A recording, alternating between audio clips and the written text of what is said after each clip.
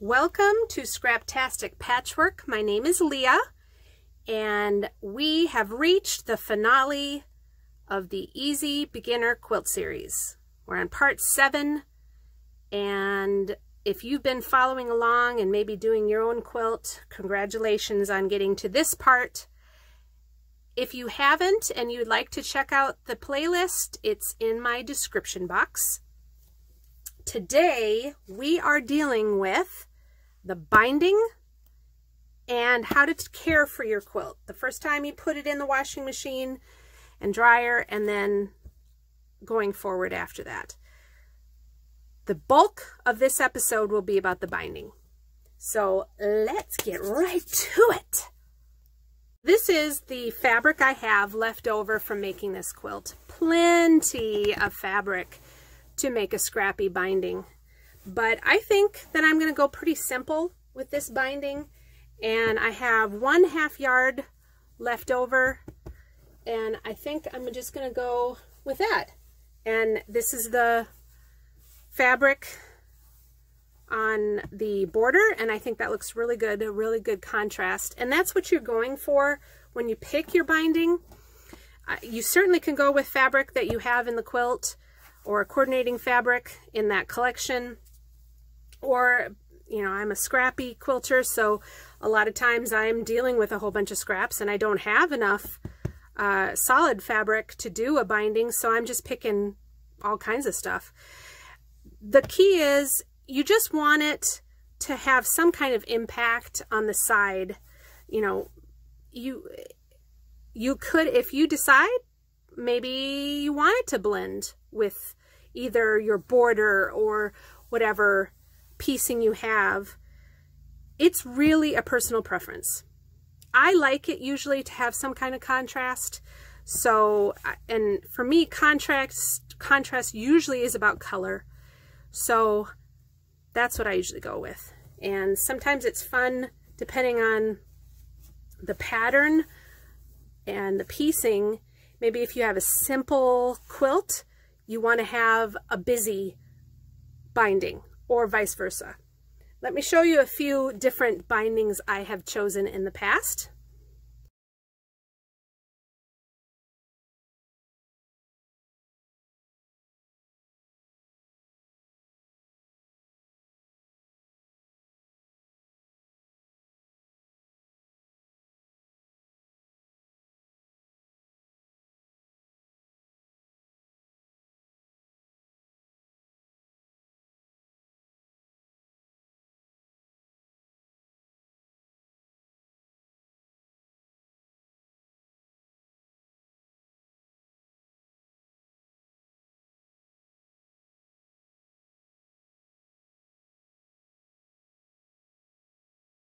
All right, so since I'm going with this, and I have a half yard, let's go over how you figure out how much binding you need for your quilt, and if I have enough.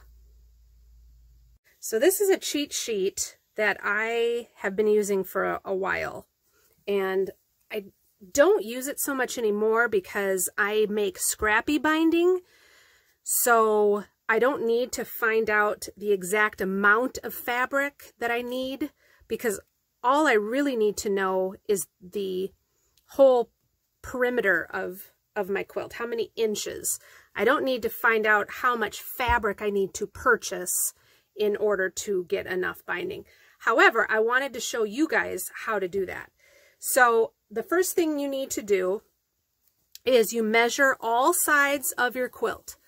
So both length and width, you add those together, and then you add about 20 inches to that.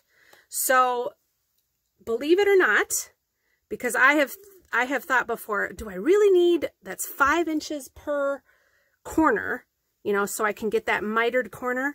Do I really need that much? And I have skimped on that sometimes, and I am in trouble. So absolutely you need to stick to that 20 inches and that's pretty norm. You know most quilters will do that as well.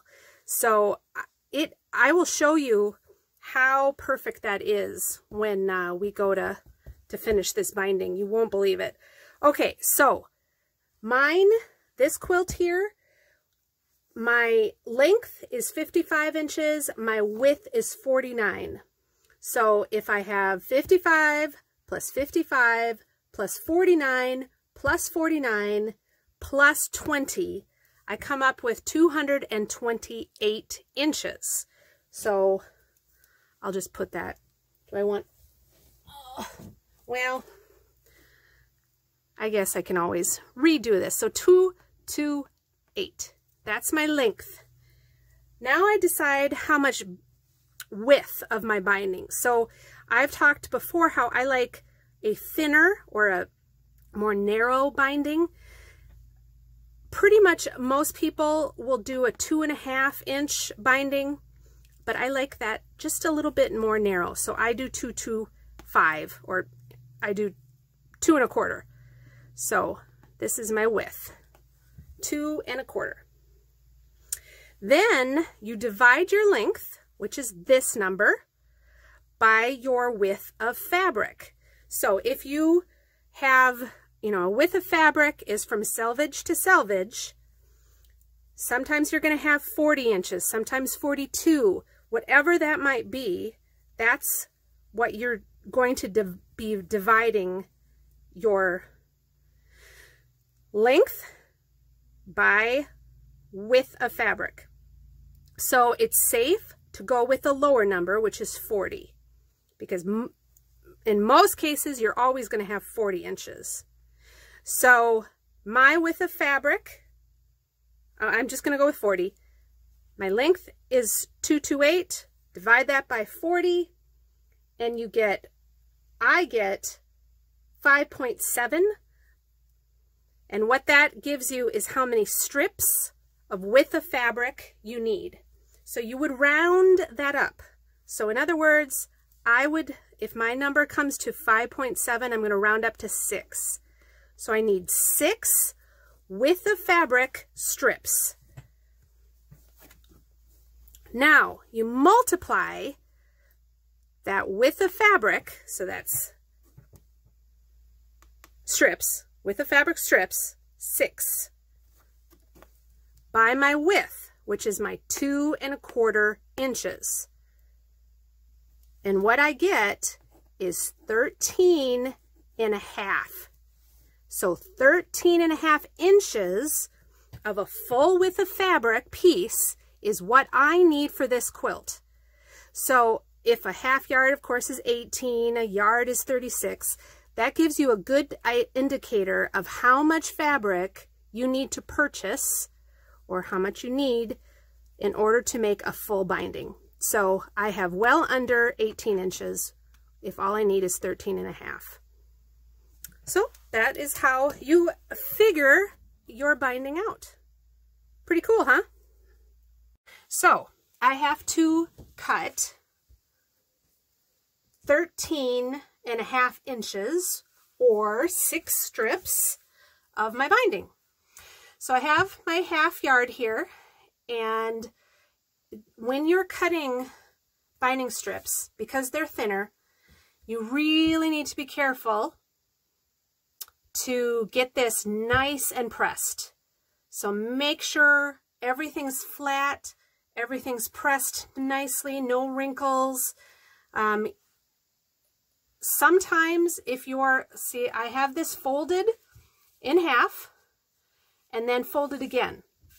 And sometimes when you do that, you can get what's known as an elbow, where just kind of, it's not perfectly straight. So you just have to be very careful. So I'm lining that up on one of my lines on my mat. And I'm going to start with a straight edge over here.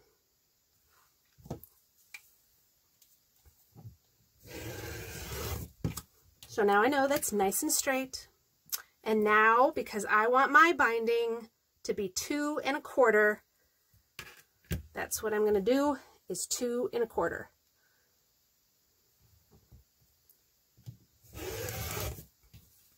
And we're going to do Either you can figure that out in your head or you can just put it over again and do two and a quarter.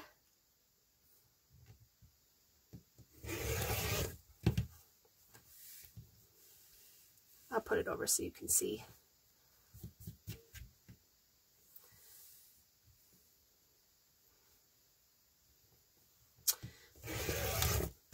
Three.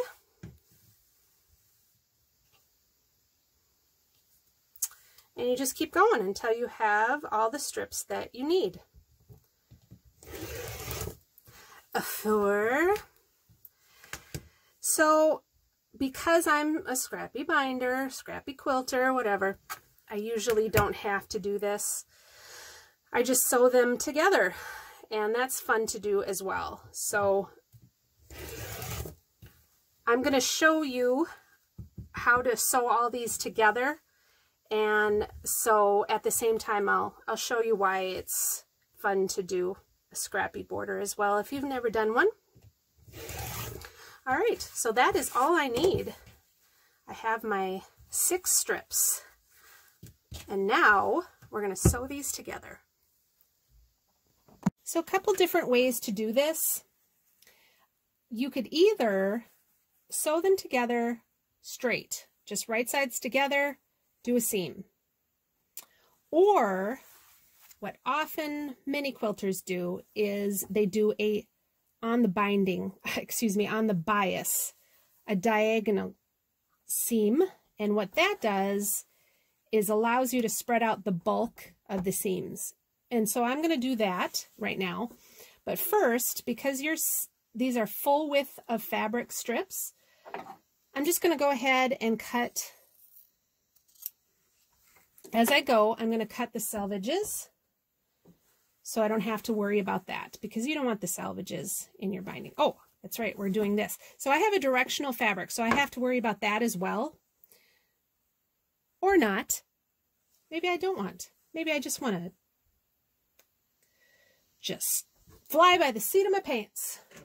Okay, so what you want to do with diagonal seams here is you lay one of your pieces, one of your binding strips down, right sides up, and then you take perpendicular, right sides down, right across the end. And I always allow myself just a little fabric on either side as opposed to just laying down perfectly like this.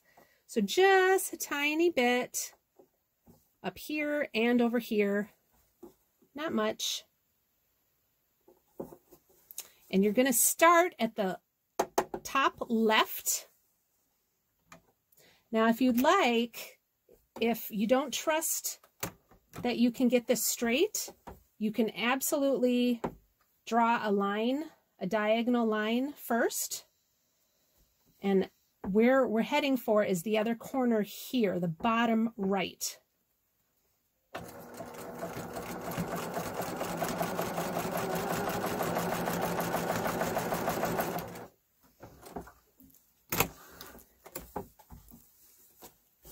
So that's what we're going for. Is a diagonal seam and then you can cut leaving a quarter inch seam allowance.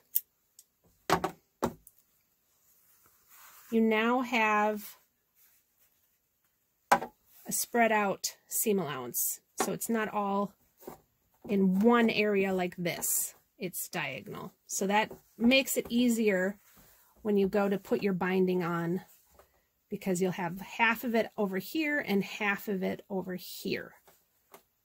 Just makes for less bulk. So that is how you sew binding strips together. So obviously this is all one fabric, but you can, how you so scrappy binding is the same. So here's two examples of some fun strips. And I'll just sew this together quick so you can see the end product of a scrappy binding.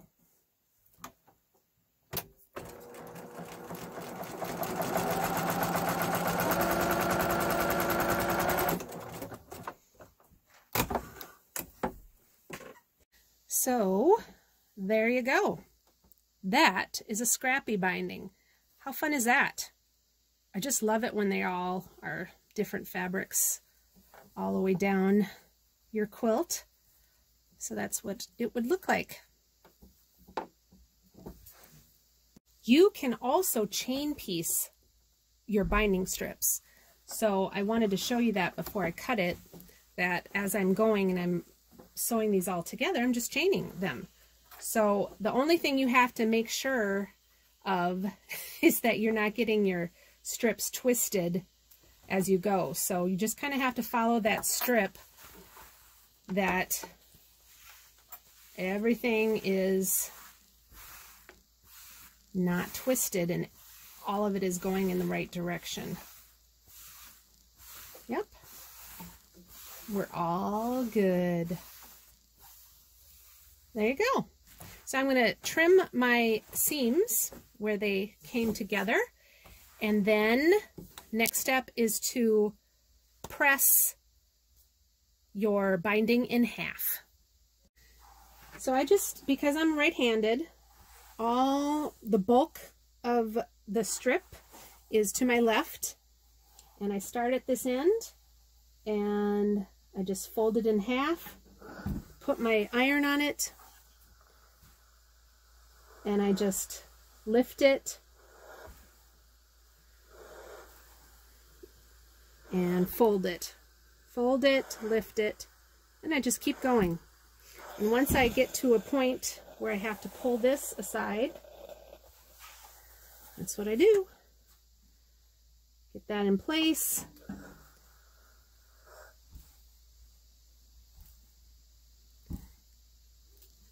And I just keep moving it over to my right. Okay, so after you have pressed your binding in half, then I like to wrap it up like this just to keep it together. And as you go, it kind of helps to keep it controlled.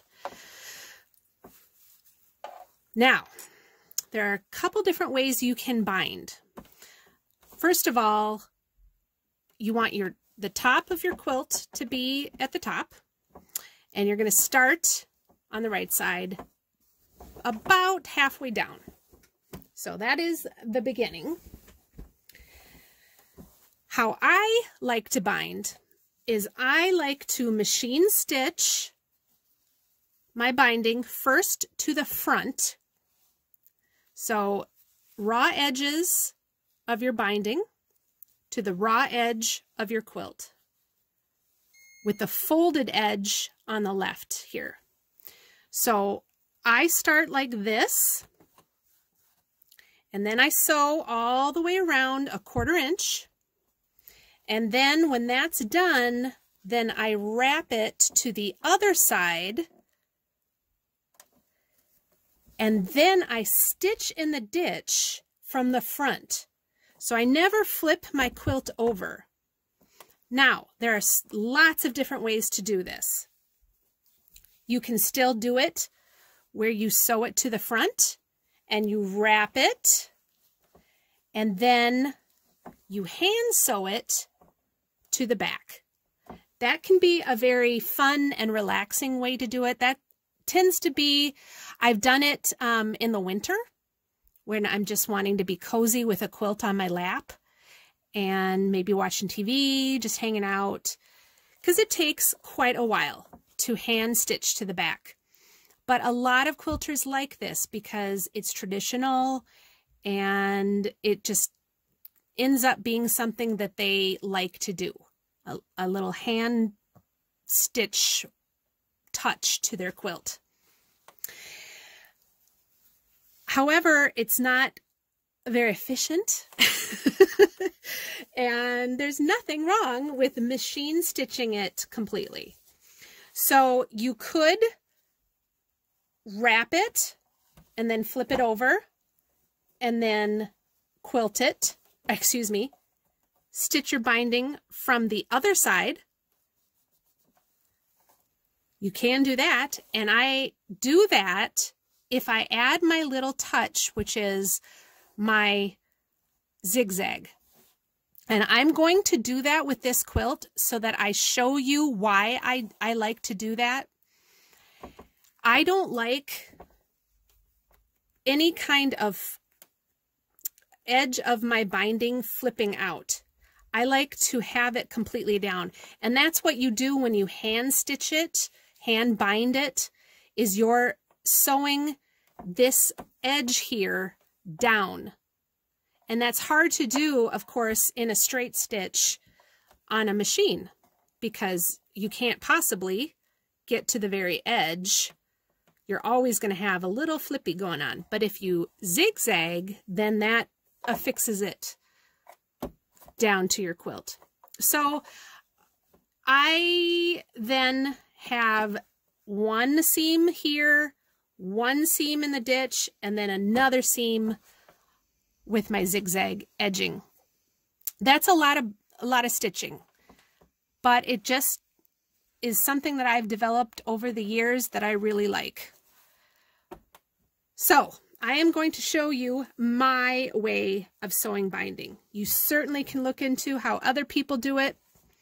I actually learned how to sew the stitch in the ditch method from um, Jordan Fabrics on YouTube. So, you know, there's so many different ways, so many different quilters do it in different ways. So feel free to experiment. I think that that is the best way is just to find out what you prefer, how you like it to look when you're done.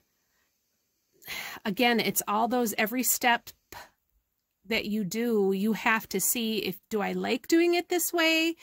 Is it a pain in the butt to do it this way? You just need to find your way. So I'm going to show you how I like to do binding. And remember, binding is to preserve this edge. So it's something that needs to be secure. It needs to be nice and um, safe for many, many, many washings, as well as this is where people grab a quilt. So you need to have this be very well sewn. Okay, so when you start, you're going to leave a tail. And I, you can leave anywhere from like 9 to 12 inches. Okay, so you want to do some stitching and then some back stitching to get that secure. And now you're just going to follow the whole length of your quilt with your binding and you're not going to pull this too tight. This is a little stretchy, but you want this just to kind of lay on your quilt nicely and you can adjust it to the edge a bit as you go. But you keep going until you get to the end and the corner and then I'll show you how to do mitered corners. All right, I'm coming to the corner. So you will probably have a mark. And I, I think I mentioned this in one of the first episodes of this series. There is a mark here that's a quarter inch horizontal mark. That tells you when your fabric hits that, that that's a quarter inch from your needle. So it, let me show you what I mean. So I'm going to kind of just fold this binding back so you can see where I'm going here. So I'm waiting until that edge of my fabric there is right on that line. So that means from the needle to the fabric is a quarter inch. That's where I want to stop. Now I pick up my foot and I move this so that my needle and that corner are equal. So it's diagonal now to that corner. And I put my foot back down and then I'm going to go out to that corner and I'm going to go back stitch just a quarter inch to hold that in place. Now I'm going to pick up my needle and I'm going to move my whole quilt to the other side and I'm going to put the binding behind me.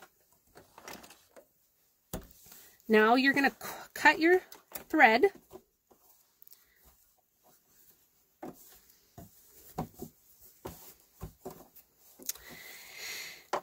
And this is where the mitered corners come into play. Okay, so you're wanting all your binding to be in front of you up top. And you're going to fold that onto itself so that your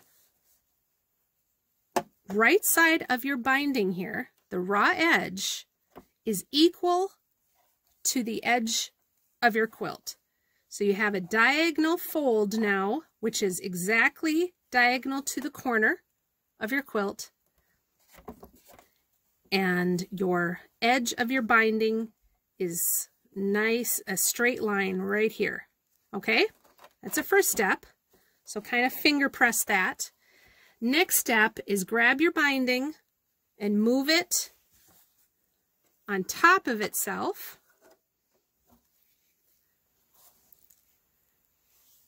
And so that your binding is now on top of your quilt perfectly like you've just been doing on the other side. The top fold now of your binding should be at the top of your quilt. So I'm going to do that again for you. You've sewed down on your corner. You've done a back stitch.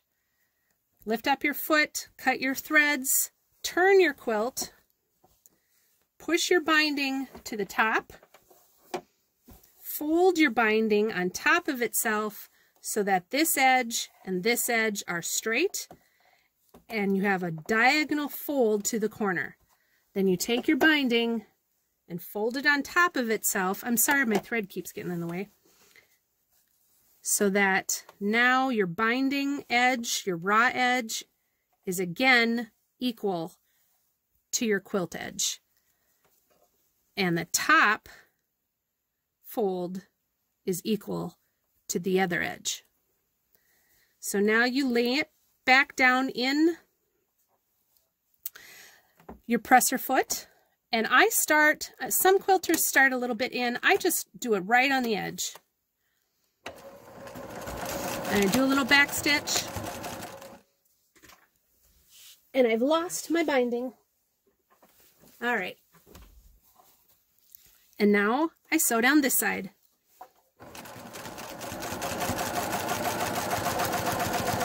And you keep going to the next corner. And we'll do it again at that corner so I can show you yet again. Can I just say that binding quilts, that's my favorite part of quilting. Isn't that weird? No, it's not weird. Okay, so here we are coming to another corner here, and I wanted to have you see this again. So I'm coming all the way down to the corner. I'm paying attention to where my fabric is, or my quilt. It's equal to that quarter seam mark or that quarter inch mark on my machine. And if you don't have one of those, then just you can have one of those seam gauges or some kind of indicator to tell you that your needle is now a quarter inch away from the edge. Then you lift up your foot and you turn it so that your needle and foot is pointing towards the corner of your quilt. Put it back down, sew to the edge of that corner, back stitch, sew off. Cut your threads. Grab your binding, turn your quilt. Put your binding to the top or other side of your sewing machine. You want it to fold over itself.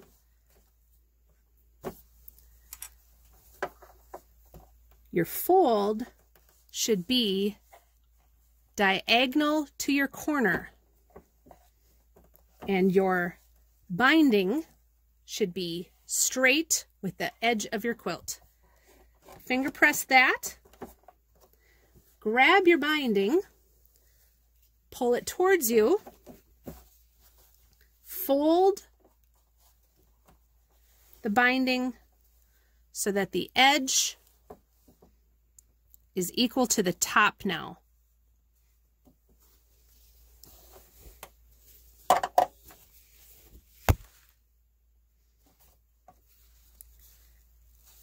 And now you're binding the raw edge is back to the edge of your quilt. Put your foot back down, back stitch, and now you're in business again, going down this side. So do that to two more corners, and then you're going to meet your tail that you started with, but don't go all the way. I'll show you when to stop. Okay, so now you've come around, you've gone all the way around your quilt, and you're down to having just two tails, one that you started with and one you're ending with. Uh, if you remember when we were talking about having enough binding, so here we are, this is how much I have left. So that 20 inches is very important to add. And you might have more. So I usually like to leave, when I'm first starting this process of ending your binding, just make sure that this part here is at least five or six inches. So you want to cut this down before you attach these two together. And that is determined by your binding width. So whatever your width of your binding is, mine is two and a quarter. So you want these two things here, these two ends, to overlap by that width. So I'm going to take both of these down a little bit. So this one probably to about there because I, I, I like to have more tail on the top end rather than the bottom end. So I'm going to then take my measure tape and you just want to make sure that these overlap. Just want to make sure my quilt is nice and, all right. These overlap by the width of your binding. So two and a quarter inches is where I want to cut mine down to. So right there, see I've put my measure tape right at the top of this and right where this one hits the two and a half, excuse me, two and a quarter is where I'm going to cut it. This is harder than I thought it was going to be. Because usually I have this, I don't want to hit the camera is what I'm saying. Okay, so two and a quarter is right there.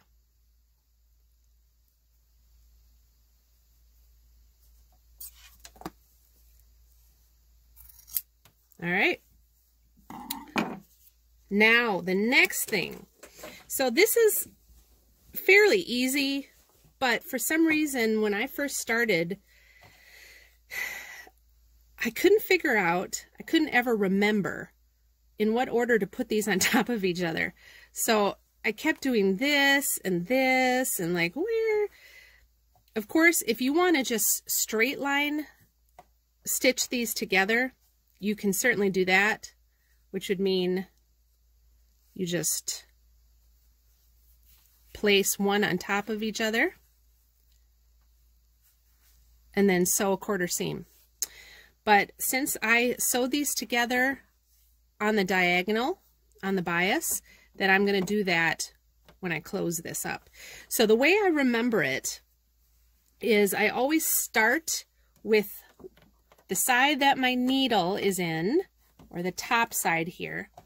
that's the one I want to place down first. So it's just like you're going to sew any two binding strips together. This one gets placed down first. So this one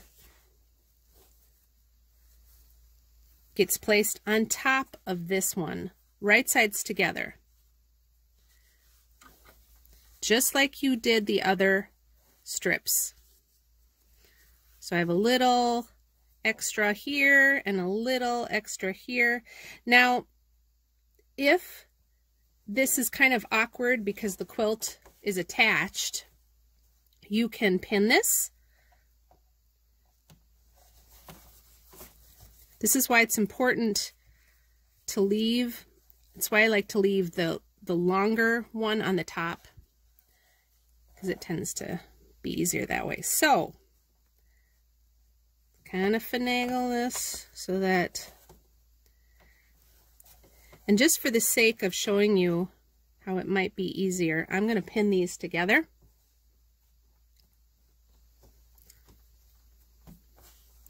Okay, so those are pinned together now, and like the other strips, you start at the left top and you end at the bottom right.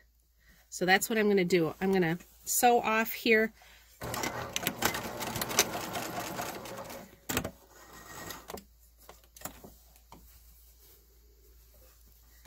so I'm going to place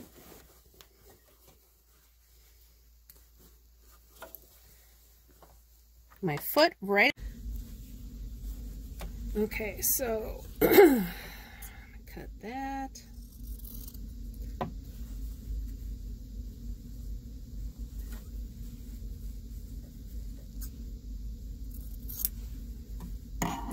best cut. And there you have a binding. Isn't that fun?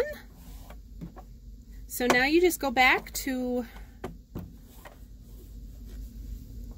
sewing on the binding.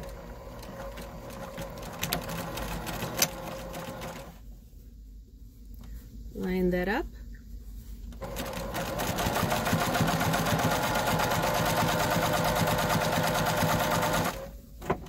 This isn't pressed like your other ones will be, or so just kind of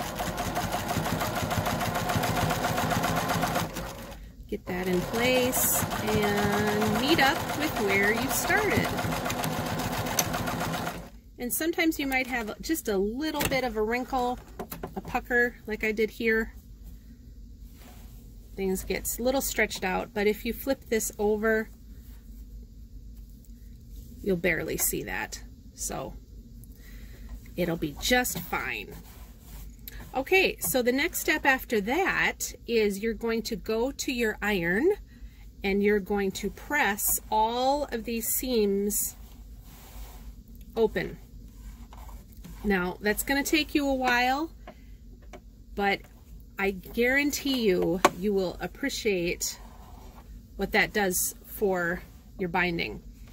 I've tried to get away with not doing it and just going directly to start putting this on and it's just, it's not as nice because you want this to be a nice flat seam right here. So you could go th through the entire perimeter and finger press if you'd like. But to me, it's just as easy to just lay each side on my board and just press that open through the whole thing. So that's what I'm going to do next. Okay, so after you've pressed all your seams open, you're going to start at one side, one corner here, and fold it to the back. So we're not going to worry about mitering the corners quite yet. We're just going to, again, this is how I do it. We're just going to pin it or clip it I suggest clipping. I think pinning a binding is a little too, it, it stretches it out and it's kind of cumbersome. So I like the clips. So if you have these or if you, I, I suggest getting some because they're, they're very convenient. So you just fold it over to the other side. Now, don't do it too tight because you want this binding to show. So you want it just to barely cover the seam, the raw seam here. That's all you're doing. You don't want it to be too loose where you have extra fabric above the seam allowance. You just, you want it to cover it nicely and lay flat. Because if you do it too tight, then you risk having a really wavy binding. So you just kind of do it enough so that it lays nice and flat. So you go the whole length of one side, just wrapping your seam all the way down. And then we're going to stitch in the ditch, starting here all the way down. So let me clip my one side and then we'll go back to the machine. So this is what it looks like on the back now. And on the front side, we're going to stitch in the ditch. And that will hold it. It'll be about right there. But that way you don't have to worry about flipping the quilt over and then worrying about exactly where to put your line so that it looks decent on the front. So that's why we do this. And I just place my needle right in the corner there. Do just a couple, one back stitch. And now I'm going to follow right in this ditch, right here. Let's get a little closer if I can. Right here. So let me hold the camera and maybe I can do this at the same time. So see, I'm just getting that right in that ditch.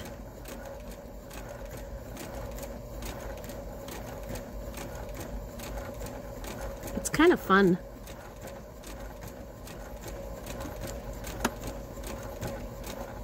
Okay, so I'm going to do that the whole way down this side.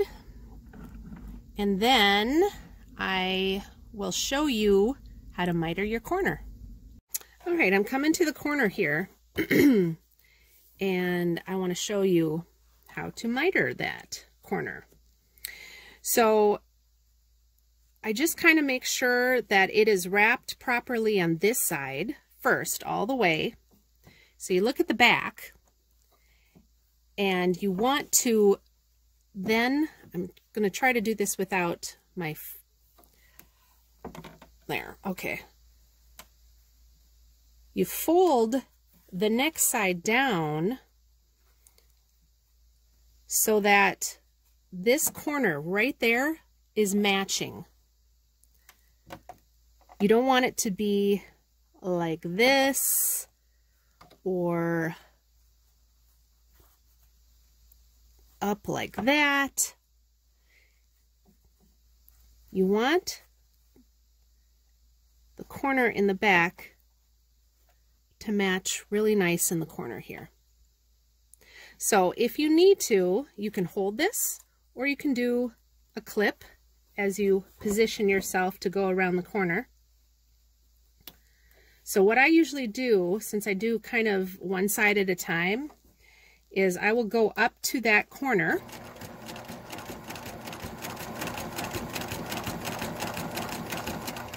And when I can't have that clip in there anymore, I just double check to make sure it's still holding.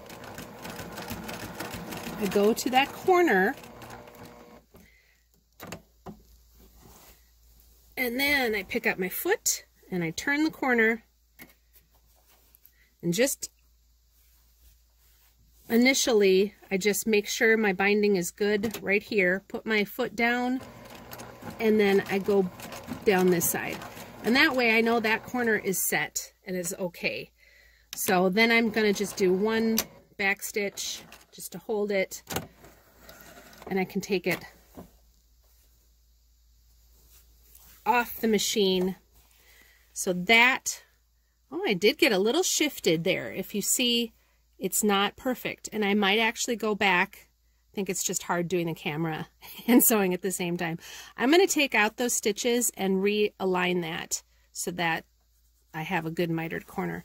But that's what it looks like on the back, your stitches, when you're doing the stitch in the ditch on the front. So this is what I mean. This is what I don't like. So either I can go back and do a hand stitch, or initially I wouldn't have to do this one and just all do the whole thing hand stitch, or I add my little zigzag. And I do that from the back. And usually it ends up looking really nice from the front as well. So I'm going to go ahead and redo this one and then probably show you again because I, I want to make sure that that is looking good. So I redid this. So this is what it looks like from the front. And this is what it looks like from the back. I got a few extra threads I need to kind of trim from going back and forth, but see how that meets nicely in the corner there? And maybe initially you want to do a couple hand stitches to your mitered corner just to get that set before you completely sew your binding. Maybe that'll help you. But that's what you're aiming for, is to have that nicely met in the corner.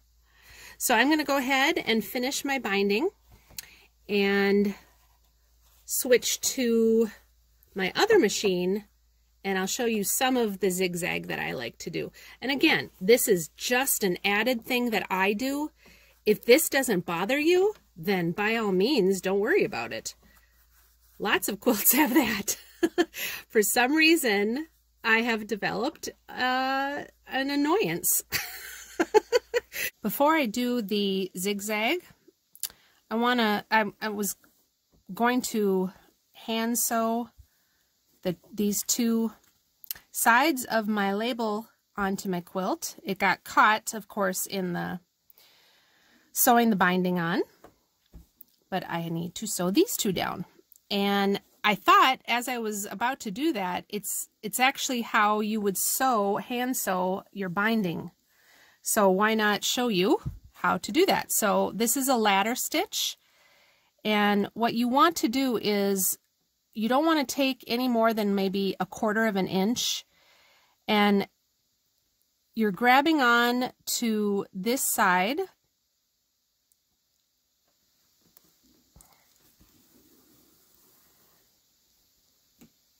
Oh, it looks like I've got a bit of a knot. Okay, so you grab onto whatever you're sewing together, one side, and then like a ladder, you're going right parallel to that stitch where it came out and doing a, a quarter inch of the other side that you're grabbing onto. So your stitch will be like a rung of a ladder. Now, I'm going through not just this layer of the quilt, but also the batting. You don't want to go all the way through, but you want to grab not just this, I mean, if, if maybe a couple of your stitches only get the first layer, that's okay. But you want to try and, and aim for the batting as well.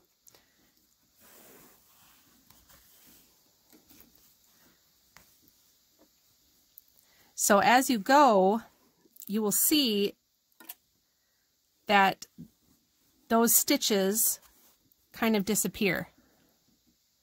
So I'm going to grab the top end here again. This is hard with the camera. I got to get better equipment so I can do these things better. And then I'm grabbing onto the quilt part right by that, another quarter inch.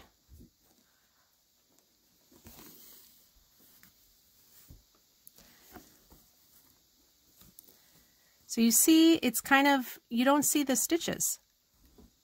It's a nice little invisible stitch. And that's how you would go all the way down if you're going to do this to your full binding. And it just tacks that edge down all the way. This is my favorite hand stitch just because you don't see it. So I'm going to go ahead and do my whole label here and then we're going to go do the zigzag. Wanted to show you the label. I decided to do some embroidery around this little frame. That way it holds it down better. And then I wanted to show you the zigzag that I did to hold this side as well. So label is done. So now let me show you the rest of the zigzag. Okay, so I just went around um, by the, the back of the quilt up and just did my little zigzag on this little flippy edge, as I call it. So now it's, it's uh, nice and secure. So that's what it looks like on the other side. Has this zigzag line now all over the quilt. And it'll just look like another part of the quilting because I do have some zigzag in this quilt already. So care for your quilt. Let's talk about that. I just got this out of the dryer. It is looking fantastic. Just like I thought, all those little imperfections go away when you wash it. Um, so some quilters will say to go ahead and um, wash it by hand Others will say you can put it in a wash and dryer as long as you do it on cold and um, tumble dry low. Um, it's awesome if you put it on a line because then you get the outdoors smell yummy. However, I have never cared. I, I want, when I make a quilt, I want that quilt to be something that I use and abuse. And so I need to know that I can wash it in hot water. I have many pets and things happen. So I, the first time I wash a quilt after I'm done making it, I throw a color catcher in so you can get those uh, color catchers and that just makes sure that in case there's still some dye on the fabric um, it it will catch that color. So I've even made super dark quilts and never had an issue. And I'm not saying that you can't have issues. You can. But um, I haven't. So throw a color, couple color catchers in there. The first time I wash it, I wash it in hot or warm, whatever I wash everything else up in. And I throw it in the wash on heat. I mean, and the dryer in heat. So I, I just think that, yes, this is a work of art. Absolutely. But it's also something that you're going to wrap yourself in and sleep in, and your pets are going to pets are always attracted to quilts and maybe you have kids so I just think that you should treat it like anything else now if I was to be doing some kind of an applique quilt that I spend months and months and maybe even years on, maybe I wouldn't do that. But if I'm just making a regular cotton quilt and just regular patchwork piecing, then I throw it in the wash with no worries. So let me give you a, a closer look at what this looks like now. Okay, so here are some of the areas that had issues with snow plowing, and those look much better. Even my wavy lines in my border looks they look better because you got all these crinkly poofy things now that kind of distract the eye. I mean if you kind of look yeah you can kind of see the wavy but come on, that's nothing. Let me stretch it out for you. Look how awesome that looks. Oh, I love it. All right, here it is. Let's kind of go in look at the details. Sorry, there's a few little buggies on it right now. It's near dusk, so, well, not exactly dusk, but afternoon. So we've got some issues here, but again, it's poofing out nicely to cover those. My grid looks great. See how, you know, my border looks fine.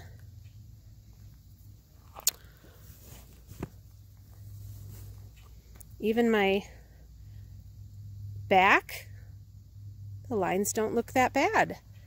See, when you, you just have to remember that when you wash it, it's going to shrink in different ways. And so all those little things that you thought were going to be horrible kind of disappear. So I'm happy to have made this quilt with you guys. I hope that you gained some insight, especially for your beginners, that not only can you make a quilt, it does take some time and practice and and skill, but you do not need to be afraid. And I think that's that's the thing that I'm hoping that you get out of this series the most is by my showing you what can go wrong, it's not something that stops you from continuing your journey to make things and especially to make a quilt. A quilt is a comfort art. So when you make a quilt for yourself or a friend or a family member, the most important part is the fact that you put the effort into it and then that item is going to be cozy for someone. So if they're sick or if they're feeling mentally not good, they can wrap themselves in this imperfect item and feel comforted. That's what the focus should be. Not that you get perfect quilting lines and that you never have a mistake in your piecing. That's not what this is about. This is about making something that helps someone or yourself. So that's what I'm hoping that, that you get out of this series is that this is a fun process. Every aspect of it should make you feel good about being artsy and crafty and also that the end product is something that you can look back at and and feel proud of without worrying about all those stupid hangups that we think that we need to have about being perfect. So Thank you for joining me for this series, and I will see you soon.